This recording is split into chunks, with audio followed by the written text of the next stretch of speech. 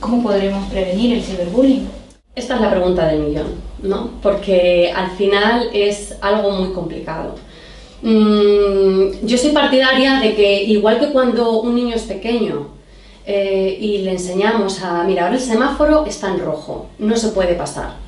Ahora el semáforo está en verde, los coches están parados, podemos pasar.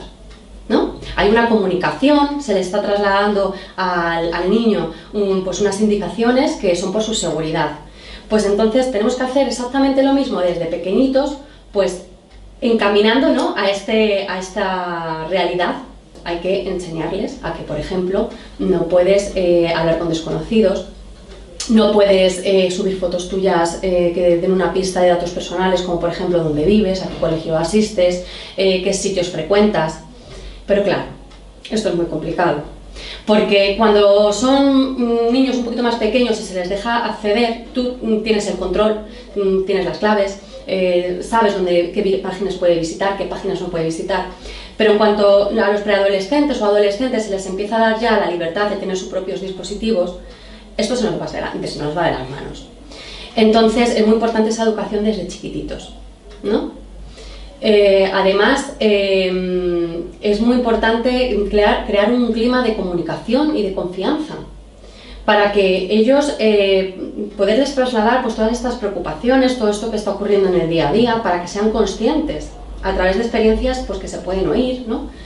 y, y, lo puedan un poco pues, llevar a cabo, aunque es complicado. ¿Qué podríamos hacer en caso de que, nos encontramos en esta situación de que está sufriendo el ciberbullying? Pues en el caso de que supiéramos eh, con total certeza, ¿no? O simplemente tengamos una em, sospecha.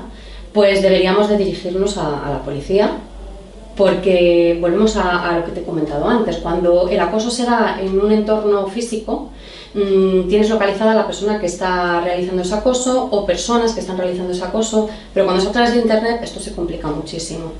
Además, le pueden tener, pues, por ejemplo, coaccionado, ¿no? Le pueden tener con que no diga nada, pues porque van a subir mm, mm, eh, información eh, que puede ser perjudicial, por ejemplo.